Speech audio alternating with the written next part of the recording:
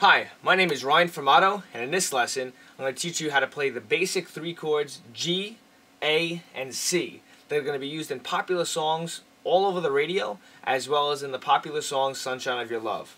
Alright, to get started, let's take a look at an open G chord.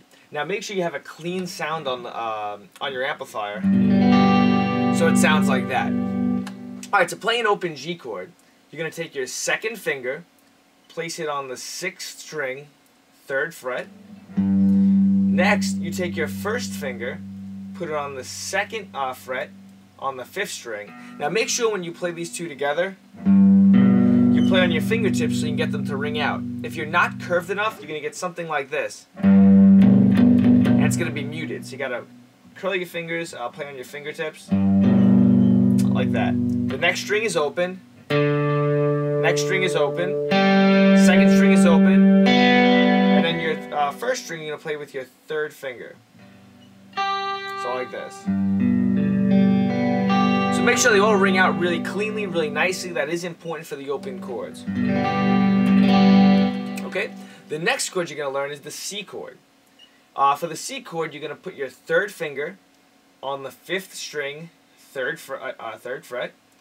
The second finger on the fourth string, second fret. Again, you can have that similar issue. You want those two to ring out in harmony like that. If you're not curved enough, you're going to get, and it's going to be muted like that. So you want to make sure you're nice and curved, playing on your fingertips. Then you take your first finger, put it on the second string, first fret, and you'll get this.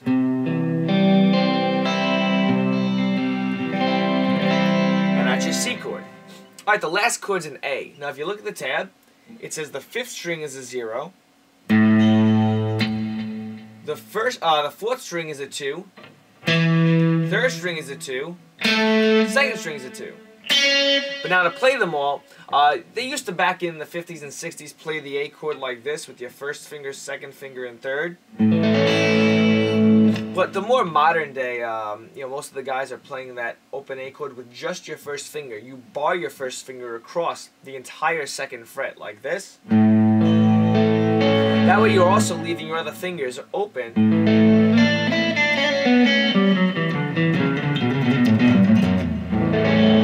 Okay, so you can start playing other riffs with your other fingers as well.